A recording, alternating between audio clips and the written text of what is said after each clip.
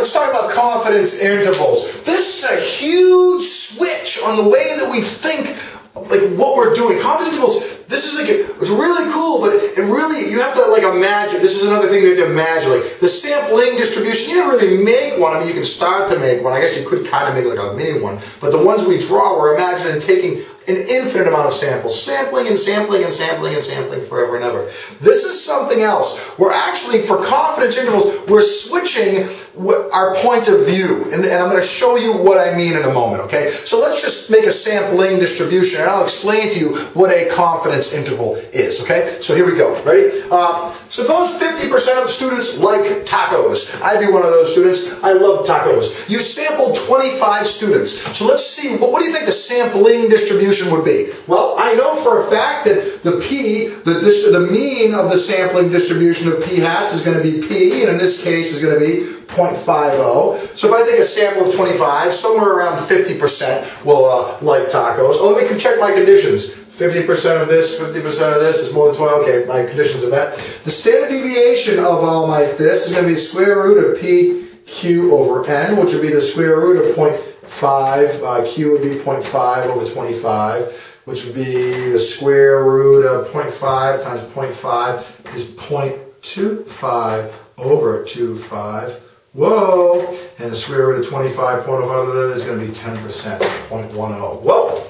So let me just double check I got that right. Uh, 0.25 divided by 25 is yeah, 0.01. The square root of 0.01 is 0.10, 10%. Okay.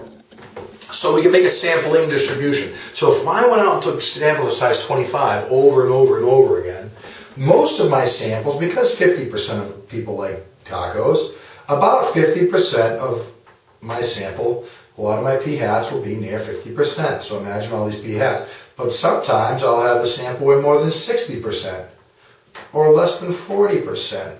Sometimes even less than 30% of my sample will like tacos, and sometimes more than 70% of my sample will like tacos.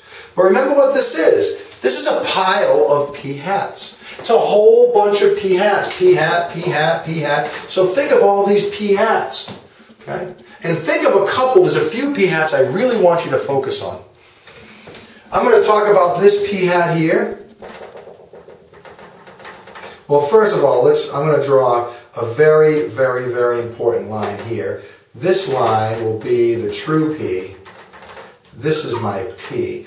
0.50. And I'm going to talk about a p hat here, a p hat here, and possibly a p hat here. Because it is possible to get a random p hat here, or even a p hat down here, and maybe another p hat. So notice, I could get random p hats. I could. I could just randomly grab 25 and only a few people like tacos. Even though I know half the people like tacos, it's possibly that I randomly grab a group of 25 where not many people like tacos. Less than 30%, maybe 20% like tacos just randomly. But most of my p hats should be within one standard deviation, between 40 and 60. As a matter of fact, 60%, 68% of my p hats should be within one standard deviation. 95% of my p hats should be within two standard deviations. Okay? So here's one standard deviation. Remember we used to do this back in the day, back when we was kids. Anyway, got 68% of the p hats, 95% of the p hats. Confidence intervals are a little bit different than what we were doing before. We were making sampling distributions, standing at a known P and saying 68% of my P hats are between here and here. 95% of my P hats will be between here and here randomly. And then 99.7 will be within standard, three standard deviations. When we're doing a confidence interval, we don't know the true P. In a confidence interval, we're standing at a P hat. We could be standing at this P hat. We could be standing at this p hat. We could be standing at this p hat or this p hat. Even if this p hat was way out here, p hat 70, 89, a p hat of 0.90, maybe my p hat randomly was. Maybe 90% of my sample did like tacos. For some reason, I randomly got a group of people who love tacos. We all love tacos. That could happen randomly. But we don't know in confidence intervals, we don't know what the true P is, so we don't really know how weird our number is compared to everything else. But all we do know is this. We think this way. If 95% 95% of my p-hats are within two standard deviations, then if 90, think about this, 95% of my p-hats are within here and here. Then from, imagine me standing at a p-hat now. If I stand at one of those p-hats and I reach out two standard deviations, so suppose it was this p-hat, and I stood at this p-hat, and I and was, so the p-hat was 0.55. I reach up two standard deviations, 0.65, 0.75. I go down two standard deviations, 0.45, 0.35. So if I stand at this p hat and I go up two standard deviations and I go down two standard deviations, what I made was a 95% confidence interval. So if you stand at a p hat and go up two standard deviations and down two standard deviations, you make a confidence interval, a 95% confidence. interval. What that confidence interval is, is a parameter catcher. You're trying to catch the true P. You're trying to catch this thing. And notice, if you did have this P hat, and you reached up to and down to, you would capture the true P. And what you'd say is if you made this confidence interval, if you got a P hat of 0.55 and you went up two standard deviations and down, you'd say this I'm 95% confident that between 35% and 75% of people like um, tacos. And you say this confidence interval not knowing whether or not it's actually in there. The true, the true proportion of people who like tacos is actually in there. Because in your mind you know, you, you know, I don't know which what the true P is. All I know is my P hat. It's the best guess I have. So you could have randomly gotten this P hat and built an interval from that random P hat. And if you had, your interval would have caught the parameter. You're trying to catch the parameter. You could have had a P hat over here. And if you're at this p hat, let's say 0.62, and you went up two standard deviations, 0.72, 0.82, and you went down two standard deviations, 0.52, 0.42, you'd say I'm 95% confident that between 0.42 and 0.82, between 42 and 82% of the people like tacos. And that's a good confidence interval. That's a great 95% confidence interval. And that that interval from that particular sample, that interval caught the true P that you're trying to get, 50. 50%, which is the true percent of people that like tacos is in your interval. So when you said it, you're like, I'm 95% confident you didn't know, but it was actually in there. So you're making these intervals. You're saying, okay, here's my sample. I know it's not exactly whatever my p hat is for my sample. I know it's not going to be exactly the same as the p. But if I go up and down a little bit, a margin of error. If I go up a margin of error and down a little margin of error, I'm pretty sure it's between here and here, probably, or between here and here. And someone might be wondering, well, why don't you make a 100% confidence interval? Well, I can always make a 100% confidence interval. It looks like this. Well, I'm 100% confident that between 0 and 100% of the population have this quality. You can always make a 100% confident interval. You know it's between this and this, zero and all. Either nobody, everybody, or someone in between. Because the, if you, the more confident you want to get, the more, the wider you have to make your interval. Because I just made a 95. If I wanted to make a 99.7% confidence interval, I'd have to go up three standard deviations and down.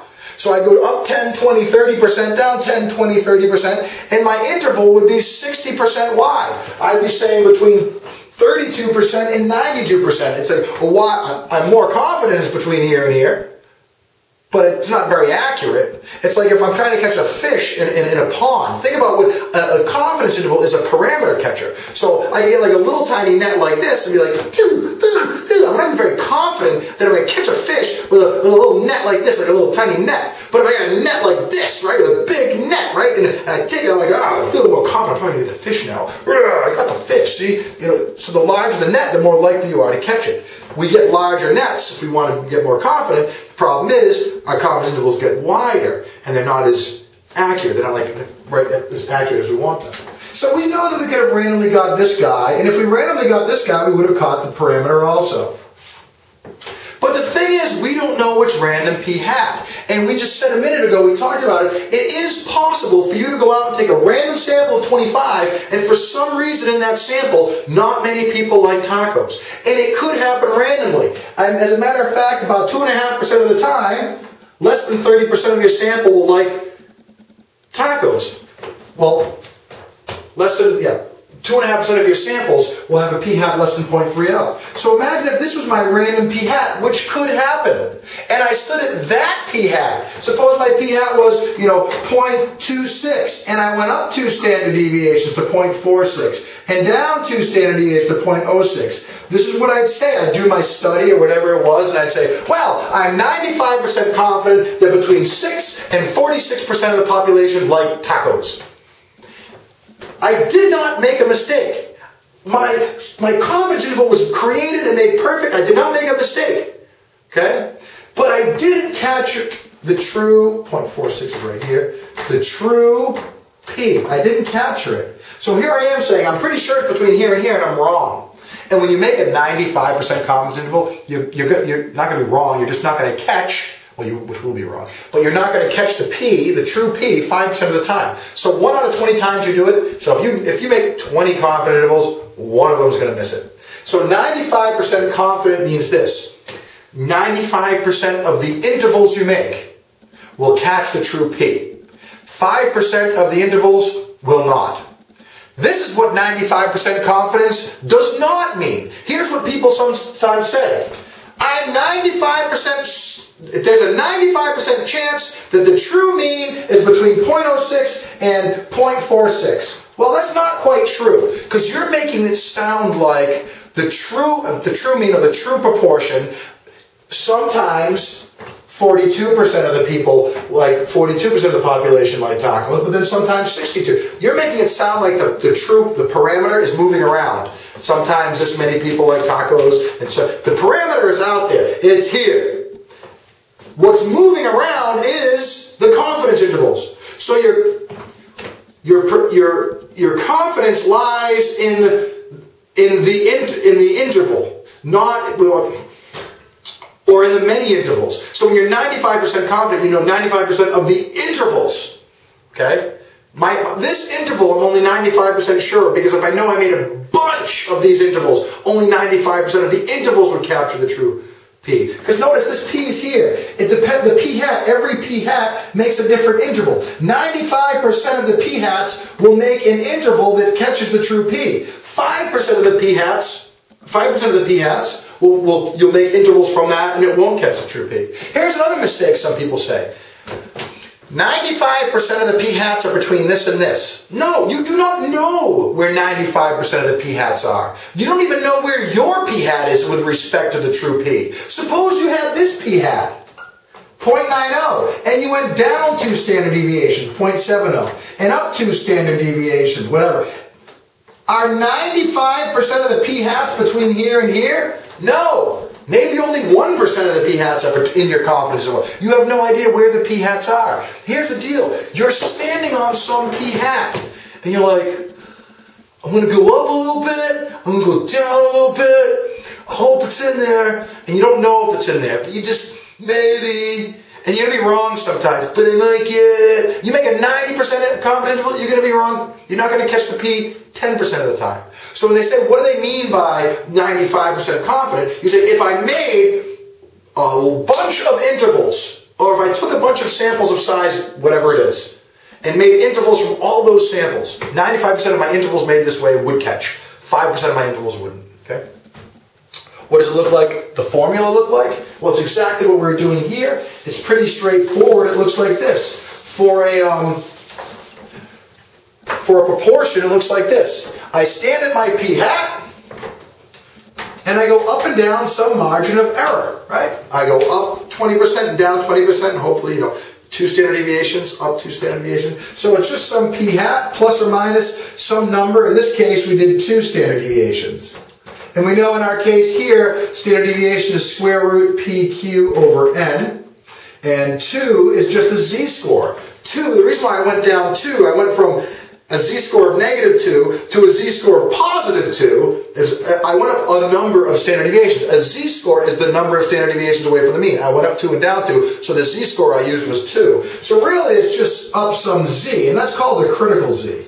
So you stand at your p-hat and you go up some number of standard deviations. If you want to make a 99.7% confidence interval, you go up and down 3 standard deviations. If you want to make a 68% confidence interval, you go up and down 1 standard deviation.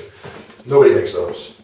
And and what happens is, you know, when you want to make this thing, sometimes people are like, wait a minute, we don't have P and we don't have Q. We don't have the true P. So you think, what's the best guess at the true P? You use the P hat.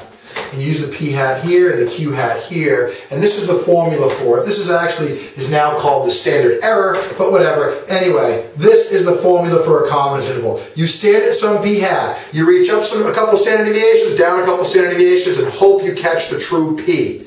You might not catch it. The thing is, you don't know. You'll never know. Get used to it. That's what statistics like what we do is we just kind of say sort of what kind of might happen we hope or think could.